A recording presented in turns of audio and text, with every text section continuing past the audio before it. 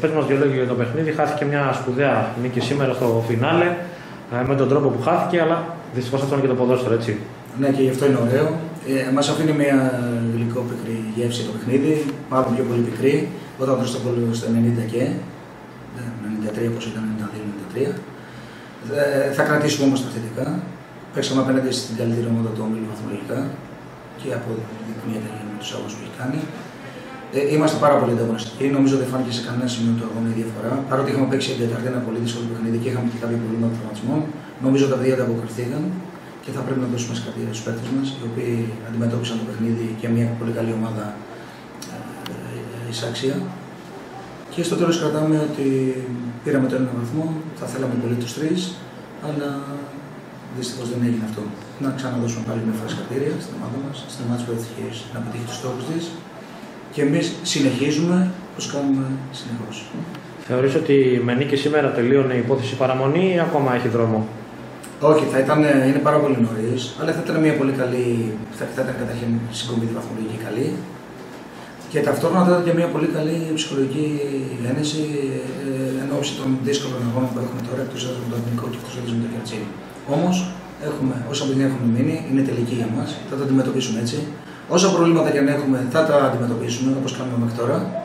Και στο τέλος πιστεύω θα δικαιωθούμε γιατί υπάρχει ποιότητα και η ομάδα μας είναι καλή. Ευχαριστούμε πολύ. Μπάμπη, πες μας και εσύ δύο λόγια για το παιχνίδι. Καλησπέρα. Ε, θα συμφωνήσω με τον coach. Εν τέλει, το παιχνίδι μας αφήνει μια γλυκόπικη γεύση. Θεωρώ πως οι ομάδες είχαν κάθε μία από ένα ημίχρονο. Στο πρώτο ημίχρονο πήγαμε πολύ πιο δυνατά εμείς. Είχαμε τις περισσότερες φάσεις. Από εκεί πέρα, στο δεύτερο ημίχρονο ανέβασε ρυθμούς λίγο η προοδευτική, όπως το χωρίσαμε λίγο εμείς. Καταφέραμε μέχρι το 92 να μην δεχτούμε κάποιο γκολ σε δύο-τρεις καλές φάσεις που δημιούργησε η προοδευτική. Και εν τέλει μας αφήνει μια πολύ στενάχωρη γεύση το όλο αποτέλεσμα. Από εκεί πέρα δεν πειράζει, συνεχίζουμε. Ε, είναι μια καλή όθηση αυτό το αποτέλεσμα και αυτή η εμφάνιση για την ομάδα. Ε, με ανεβασμένη ψυχολογία συνεχίζουμε στα επόμενα παιχνίδια.